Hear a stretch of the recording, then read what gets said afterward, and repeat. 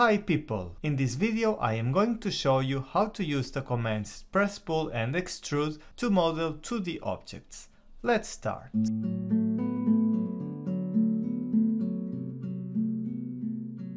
Extrude and press pull objects. Basically these two commands allow us to add a third dimension to 2D objects. With extrude we can convert objects either to a surface or to a solid. That depends of its nature. If we extrude lines, open polylines or splines, we add a dimension in the z-axis, converting them to a surface, as you can see. By the way, if we do the same process to a closed boundary object, like the examples I show you here, I activate extrude, and by adding a z dimension, they are automatically converted to a solid. Ah, and there is also an option to extrude only the boundary here. I type ext to activate extrude again, and before selecting anything, it says here, select objects to extrude, or mode.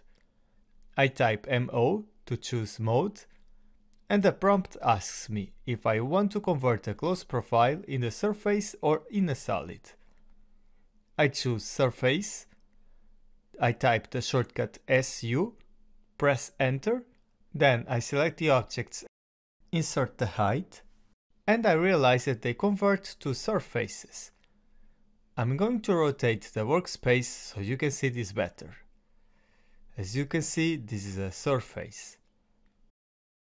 If you don't like this visual style because of the grids, I can change it to this one. Command press pull. This tool has a similar use, but there are a few differences when comparing to extrude. First, it only works for closed boundaries. I'm going to activate a command and then instead of clicking on the objects, I must click inside the area when it's highlighted.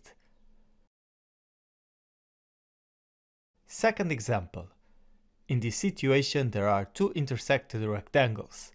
If I use press pull here, I can extrude the closed boundary where my pointer is. Then I do the same at this side. And look how beautiful it is. Using the command extrude here, I convert to a solid the whole polyline that I select. If I have an object inscribed inside another, sometimes I have to wait a bit to highlight both objects. Now click if I want to extrude just this area. So it was everything in this video. Thank you very much for watching and don't forget to subscribe to CAD in Black to get access to all the content of this channel. There are full tutorials, exercises, as well as tips and tricks. So let's meet in the next occasion.